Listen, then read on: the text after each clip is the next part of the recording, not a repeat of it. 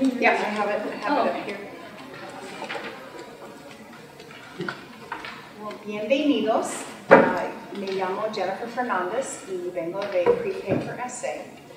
Ah, Rosalinda Rangel y yo somos entrenadores de maestras. No somos maestras, pero trabajamos con las maestras mm, tanto en nuestros centros como en los distritos escolares que participan con PKFRSA, que vamos a explicar un poco más en esta presentación. Y tenemos también Krista Soli, y Kristen trabaja en el departamento administrativo, trabaja más con la inscripción, eh, la um, registración de niños, todo eso, y también ella va a platicar más acerca de eso.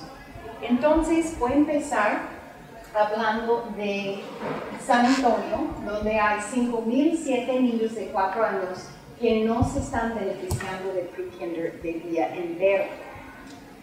2.300 de ellos no están matricu- matriculados en ningún programa de pre-kinder. Y 3.400 están matriculados, pero nada más en programas del mediodía. Entonces, sí hay una necesidad en San Antonio para programas preescolares. Entonces, en el año 2011, el alcalde de aquel entonces, Julián Castro, llamó como con un grupo de trabajo que consistía de líderes de negocios, líderes de la comunidad, líderes de educación, para platicar cómo mejorar la educación en San Antonio. Y el grupo decidieron que la mejor manera era empezar a tener un programa de alta calidad para 4 años o niños preescolares. Entonces, en, en noviembre de 2012 presentaron a los ciudadanos de San Antonio la, la iniciativa de Pre-K for SA. Y votaron y pasó la iniciativa. No pasó por mucho, que nos enseña que es un poco controversial y que este, es algo muy importante en nuestra comunidad. Entonces, muy rápidamente, en diciembre de 2012, ya empezaron a construir dos centros educativos. Uno en el norte, que está como en el centro médico de San Antonio, uno al sur, cerca de Brooks City Base. Así que están ah, familiares con esas áreas. Y en enero de 2013 ya empezaron a buscar eh, personal. So, muy rápido ya tenían que empezar a poner en adelante el plan. El iniciativo tenía un propósito y varias metas envueltas con él. Uno era reducir las diferencias en el rendimiento por al menos 25% en lenguaje, 33% en matemáticas y 90% en alfabetización, en comparación con estudiantes de kinder que no existieron en nuestros centros. So, están van a hacer estudios para probar si hay una diferencia entre los niños que asisten a nuestros centros y los que no, en la ciudad de San Antonio. También una meta es la reducción de entre el 20% a 40% de niños um, asignados a clases de educación especial y niños con retención en la escuela. Otra meta es que para el tercer grado los estudiantes de los centros deberían cerrar las diferencias de rendimiento en diagnóstico STAR, el examen de STAR que hoy es en las escuelas de lectura y matemáticas por al menos 10%. Entonces, nada más esos tres ves que es, um, hay, hay expectativas muy grandes para este programa. Pero también hay muchas investigaciones que nos enseñan el valor Um, y los beneficios de educación preescolar y los beneficios de largo plazo. Um, también una meta es prever desarrollo profesional de alta calidad para todos los educadores de pre a tercer grado en la ciudad. Mucha gente no sabe eso, piensa en pre-K for es puro pre-K. Pero ese es donde trabajamos Rosalinda y yo. Podemos trabajar con maestras hasta tercer grado en los, en las, en los distritos participantes en, con esas maestras. Y finalmente uh, quieren ayudar a preparar a nuestros niños para el mercado laboral del siglo XXI. que son niños que pueden resolver problemas, niños que pueden hablar por sí mismos, este, y varios otros. Um, y aún la creatividad es, es algo que buscan ya en el mercado laboral para el futuro. Entonces, en agosto de 2013, construyeron los dos edificios que ya mencioné, consiguieron 120 empleados y empezamos con 700 estudiantes. El año siguiente, que es este año escolar que estamos terminando, ya tenemos cuatro edificios, porque el verano pasado construyeron dos um, centros educativos más, que uno es en el oeste, cerca del Food Bank, um, Animal Care Services, son cosas que están, llegaremos a 2.000 estudiantes que vamos a servir. Y el iniciativo tiene, tenemos ocho años para cumplir con todo lo que hemos visto y ya en ocho años los uh, ciudadanos tienen que votar si seguimos o el programa no era un éxito o vamos a ver, vamos a ver los resultados. Entonces, 80-90% de la inscripción son niños que califican por pre del Estado en los distritos escolares participantes. Y Krista va a hablar un poquito más de que cómo un niño es elegible para um, pre-K, pero um, porque estamos en una conferencia bilingüe y una de, una, de, las maneras es si los niños no son hablantes de inglés o hablan otro idioma en su casa. 10 a 20% de la inscripción son niños que asistieron con colegiatura pagada basada en el ingreso familiar. Entonces, dependiendo de su ingreso familiar, le dan una tasa um, que será 2, 3, 4% de, de, su ingreso. una, una, una colegiatura muy baja. O hay unos también con beca. El financiamiento del programa viene de un aumento de impuestos, por eso los ciudadanos tenían que votar, votar para aumentar un poquito sus impuestos sobre la venta por un octavo de centavo. Este en combinación con la colegiatura de los niños que pagan colegiatura y el igualado estatal es como pagan el programa de proyectos. Y la responsabilidad de nuestro programa está enfocado no solamente a los niños y sus familias, pero también a los distritos escolares que participan con nosotros y a la ciudad de San Antonio. Entonces es, es, es una gran cosa de que estamos, um, en que estamos participando. Rosalinda nos va a platicar un poco más acerca de los centros educativos. ¿Hay preguntas? Y al final vamos a tener tiempo para preguntas también, ya que tienen toda la información. Ok, entonces como Jennifer estaba diciendo, tenemos cuatro ah, centros educativos. Este, las escuelas abren de lunes a viernes de, entre 8 y 3 de la, de la tarde. tenemos servicios de guardería en horas extras, de, de 3 a 6, que es gratuito a las, a las familias. Um, todas. It's, it's all part of the, the initiative. Es, uh, ellos contaron con todo eso. Eso es el, programa, todo el programa, um, los diferentes eh, departamentos que tenemos, por ejemplo, el de nosotros, uh, Julián Castro, él, ciertos departamentos él quería, él quería esto para lo que es la comunidad. Entonces tomaron en cuenta los, eh, de ahí vienen los ocho centavos, o sea, lo, que están en los impuestos de la, de la gente. Entonces, um, tenemos lo que es este, tenemos empleados que apoyan en esos lugares, lo que es las horas extras, tenemos este, varios empleados donde son, bueno, ahorita hablo del, más, pero bien todo lo, que es el, impuesto que, están cobrando. el estacionamiento, eh, establecimiento eh, está con licencia de, de la ciudad para los niños. Entonces también en, incluye lo que es transportación. Tenemos, este, se les ofrece a los padres, pueden ir a, los niños pueden transbordar en, en, camión. en, alrededor, alrededor de, la, de, la, ciudad tenemos varias estaciones donde ellos se, se los recogen. cuando comenzó el programa de Pre-K for ellos pidieron cuotas de, de, diferentes lugares alrededor de la comunidad. Entonces, eh, escogieron para la transportación y escogieron lo que es um, Star Shuttle.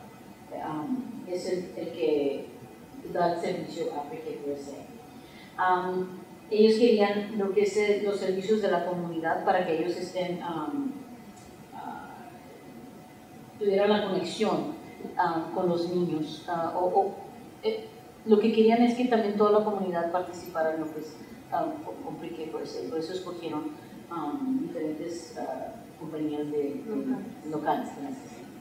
Um, entonces, lo que tenemos son 20 camiones uh, que consisten de, de, asientos incorporados para los niños, que viene siendo con los uh, cinturones.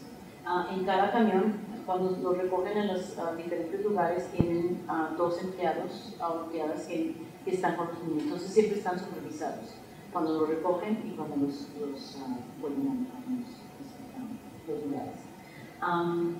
Para cada centro educativo hay como cinco paradas de autobuses en centros de la comunidad.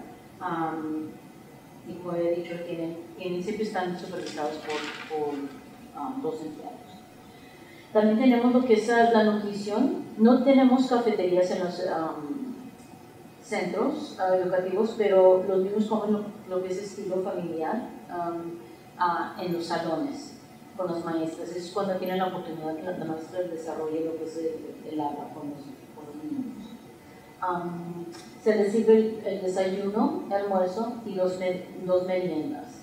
Uh, se les trata de ofrecer comida nutritiva a los niños tienen opciones, por ejemplo, les dan opciones, opciones como hummus, con uh, comida que a lo mejor ellos, ellos no habían tratado antes, pero se les, se les um, dice a los niños que, que lo prueben, ¿verdad? no los forzan a comerlos, pero se les da cosas como hummus, um, tortilla integral y toda la comida se basa en lo que es uh, lo que se les sirve. Um, los servicios de, de, de comida son uh, proveídos por Celrico. Ellos también trabajan con los niños en los jardines, por eso ven esta foto aquí. Um, siembran, los niños siembran uh, y cultivan y comen los, las cosechas que tienen ahí en, en, los centros. Um, hay veces que aprenden de las, de las verduras que no habían visto. Por ejemplo, uh, nosotros pasamos porque caminamos alrededor de, de la, del centro educativo y vemos los jardines, los jardines que tienen los niños, tienen um, fresas, uh, calabazas, pero una como, uh, ¿cómo se dice? Berenjena. berenjena. Um, esas a lo mejor son, son verduras que no han, no han visto o no han probado los niños, pero todo, todo eso lo, lo crecen los niños en los, en los jardines. Um, calabazas, ¿qué, no, ¿qué más hay visto? Eh, tomates y... Tomates romero. Romero, vienen de todo. Este, y ellos son los que los riegan, ellos son los que salen con las maestras y, ellos son los que tienen todo eso. Ah, pero la compañía de Cerrico es, es la compañía que puso los jardines en cada centro. Y sí. las maestras llegan a sembrar. En este caso había un centro de Cerrico ayudándoles, pero normalmente las maestras y eso también va del, costo inicial de, del dinero de los fondos que sí de los impuestos o eso es aparte esa compañía lo donó no, todo eso todo está incluido. exactamente. Cuando hicieron el iniciativo hicieron un presupuesto que incluye la transportación este, nuestro departamento de desarrollo profesional todo, todo eso. eso nunca van a tener que aumentar los impuestos ni pueden, porque la razón que lo aumentaron es había un poquito de espacio, porque hay un límite a que pueden cobrar impuestos. Había un poquito que no estaban cobrando y decidieron ya ir al límite para tener fondos para el programa. Este, o ya hablaste del mercado de... No solo, no, no había hablado del mercado. Ah, no solo los niños benefician, pero también tienen ah, para los padres, ofrecen clases de nutrición y también tienen lo que es un mercadito de frutas y verduras. Ellos van, por decir, no sé, cada, a lo mejor dos, tres veces a, por semestre. Entonces tienen un mercadito, frutas y verduras, y los, los padres pueden venir a, a comprar um, por muy bajo precio, ¿verdad? Este, entonces ese también se los ofrece a los, a, los padres. Aparte que nosotros vemos que los maestros también, para que vean los niños, las maestras salen y les dan un, dólar o dos para que ellos también puedan tener ese intercambio de, ir a comprar las frutas y verduras cuando van. ¿Y eso solo para los padres? Sí, sí para los, ajá, lo hacen en los centros nada más para las familias. Para las familias. Eh, toda la idea de ellos es, es, este, educación de la nutrición, porque ya sabemos con tantos problemas con los niños con obesidad y ya no están jugando afuera, haciendo ejercicio, están tratando de ya, ya tempranito en sus vidas ver la, ver la importancia de qué comemos y hacer ejercicio que vamos a ver también hacer tenemos lo que son uh, las, nuestras maestras en los centros educativos tienen por lo menos tres años de experiencia y este, muchas de ellas también tienen lo que es la maestría. En cada salón tenemos dos, dos adultos por cada 20 niños, lo que es la maestra y la, la asistenta.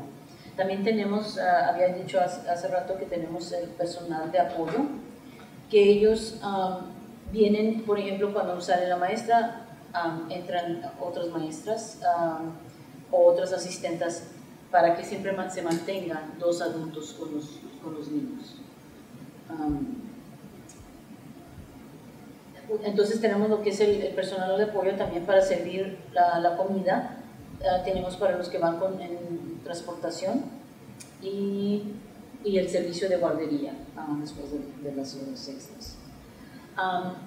También tenemos lo que es este, socios de la comunidad que ayudan a aumentar la educación de los niños. Por ejemplo, tenemos este, músicos que, que vienen a, a los uh, centros uh, y les enseñan a los niños cómo usar los tambores. Um, son lo que es este, ¿cómo dijiste? Bongos. Los bongos. Entonces les enseñan, ya saben que lo que es este, la música es, es un muy buen desarrollo para la educación de los niños. Este, otro socio es Baptist Family Services, que también les da, provee clases para los, los padres. Tenemos el programa HEB3, no sé si, están, ah, si saben lo que es el programa HEB3, que es importante, ah, le dan importancia a la, a la lectura. y esos son unos pocos de, de, de varios. Unos ejemplos, unos ejemplos nomás que tenemos varios más, ¿verdad? que vienen a, a apoyar a los niños. Tengo una pregunta. El programa de Free era mi entendimiento que era para, enfocado para niños que no estaban en el, en el programa de Sí, son para niños de edad de, de 3 años o menor. Lo, sí, los hermanitos. Entonces lo que pasa es el, el, el café eh, que le dije que tienen los um, especialistas uh, familiares, ellos son los que vienen, traen esos programas, entonces durante el día los tienen, los presentan a los padres, entonces también traen a los niños, porque ese programa es, uh, les, enseñan a los niños chicos y luego a los, a los padres también. Y luego los juntan y, y se también los dice el programa ese, pero sí, son para los chiquitillos. Sí, pero los padres que pueden venir durante el día y, y tienen mucho apoyo, ¿verdad? Vienen muchos, muchos padres, muchos padres en, el programa que vienen. Y ofrecen un montón de oportunidades para los padres participar en la educación y ver la importancia de ser parte de la educación. Yo sé que uh, usted estaba preguntando sobre la, la consejera la especialista familiar es tipo consejera, trabaja con los niños, pero yo diría que más de su trabajo es trabajar con los padres en ver maneras de, de invitarles a la escuela, participar en la escuela, involucrarlos en la educación de sus, hijos. Sí, la meta es involucrar a todos los niños. El currículo uh, Enrique pre First es un poco diferente porque no tenemos un programa fijo que compramos la caja y la maestra tiene, todas las maestras están siguiendo el mismo programa, misma página, la misma vez. hay ciertos estándares de los centros que todos siguen, que ahorita voy a explicar, pero la cosa importante del currículo es tratan de escoger lo mejor de muchos programas. Por ejemplo, compraron uno que se llama Frog Street, que es un currículo que muchos pre-Ks en, en Texas usan, pero las mesas no tienen que a fuerzas usar todo de Frog Street, es un recurso. Um, y hay varios recursos que pueden usar. La idea es, um, más que nada, que la educación es- está centrado en los niños, no en lo que quiere el adulto, que le guste el adulto, que la maestra está nada más enseñando y diciendo, sino que qué son los intereses de los niños, qué son las necesidades de los niños. Y eh, las maestras tratan de, usar su criterio profesional para hacer lo mejor currículo que pueden y diferenciarlo basado en sus, su grupo, sus, sus alumnos. So, estos son lo que realmente guía el currículo. Además, hablamos mucho de las prácticas apropiadas para el desarrollo de los niños. So, no vas a entrar y ver worksheets, hojas de llenar en pre frase. Realmente tratan de seguir, hay, hay una, una asociación, se llama NAYC, que es nacional y trata de la educación de niños um, preescolares, bueno, de, de que tres años a ocho años realmente.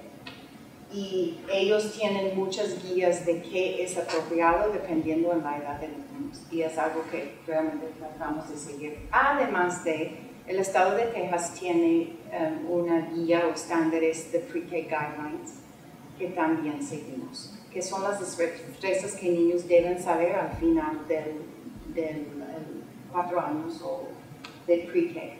So, todos esos en combinación es que llamamos el currículum. Y los estándares de los centros son cosas que eh, piden que todos siguen en una manera apropiada. Por ejemplo, grupo grande, que será un tiempo cuando todos los niños están juntos para movimiento, cantar, bailar.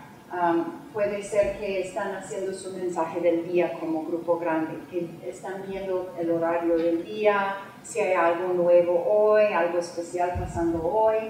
Este, y puedes ver aquí que en este, estos son fotos, pudimos hablar con una maestra bilingüe de nuestro centro um, y, y ella nos dio fotos para que puedes ver qué realmente está pasando cada día. Ya ha llegado a- al punto que los niños están escribiendo el mensaje del día.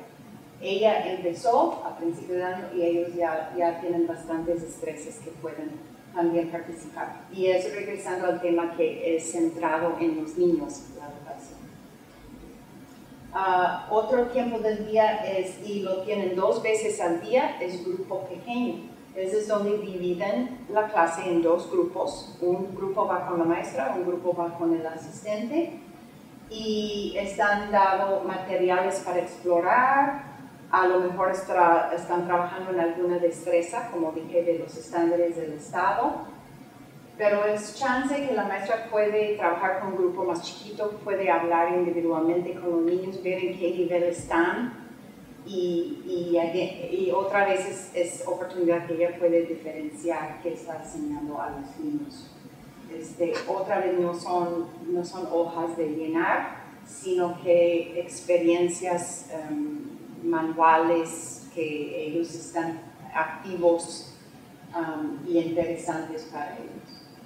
Aquí, por ejemplo, están desarrollando la motricidad fina, este, dibujando en la sal. A lo mejor están, si pueden hacer letras, están haciendo letras o números. O a lo mejor no están ahí todavía, están, están nada más haciendo este, formas o explorando. ¿Qué tal si un, perdón, si un niño no quiere participar en eso? ¿Se le da el uh, permiso de ir a otro grupo, explorar de otra manera o es, tiene que estar en la... Yo creo que tratan de mantener el grupo, am, pero en una manera apropiada, no los castigan, o, pero tampoco es tan libre que los niños hacen lo que quieren. Hay estructura, hay expectativas, pero como dije, en, el- en tratan de poner cosas que sí le llaman la atención y que está a su nivel, que no es tan difícil o tan fácil. Este, pero yo creo que hay casos que hay alguien que no participar, a lo mejor nada más van a estar viendo. Sí. Y les llama la atención a los niños porque usan los, de son- los diferentes sentidos, ¿verdad? No Sí, claro. la hoja se trata con la hoja. Entonces, cuando se le presenta en esta forma, ellos ah, participan. Y, y no lo tengo en la presentación, pero es bueno que lo mencionó porque sabemos eh, que niños de cuatro años a veces son, eh, tienen sus momentos difíciles porque quieren ser muy independientes y sabemos que niños vienen de familias muy diferentes, unos con expectativas, unos no, que no tienen. Entonces lo que las maestras usan se llama um, resolución de conflicto. So, no tienen um, time out y voy a cambiar tu color de este rojo, amarillo, verde, que yo usé como maestra, so, no estoy criticando, pero es que me enseñaron y que yo es todo que sabía. Ellos tratan de uh, resolver problemas con los niños. Y es un proceso, claro, al principio los- ah, muchos niños ni tienen el lenguaje para hacer eso, pero ya ves durante el año que la maestra los enseña ya a resolver solos sus problemas. Si están peleando por algo o no quieren participar, so, lo tratan de hacer de una manera más efectiva que, que castigo. Y, y esa forma de resolver problemas es algo que se les enseña a los padres para que ellos también lo continúen en sus casas. Esa es una buena pregunta. A lo mejor en sus entrenamientos, pero no lo, todos los papás van, pero tratan de explicar a los papás, esa es la manera en que resuelven los problemas, porque sé que en la casa es diferente. Nosotras hemos ido a muchos entrenamientos de eso y, y siempre hablan de los papás hacen que hicieron sus papás. Y a veces las maestras hacen que hicieron sus papás, pero nosotros estamos tratando de, de educar. otra idea más apropiada para Sí, niños. Y una- es una destreza que van a usar toda su vida. Claro, porque es- no se trata de que los padres ah, no quieran lo mejor para sus hijos, sino que esos, eso fue la manera en que ellos fueron enseñados, mucha disciplina estricta. estri- Y, y también lo que pasa es que en nuestra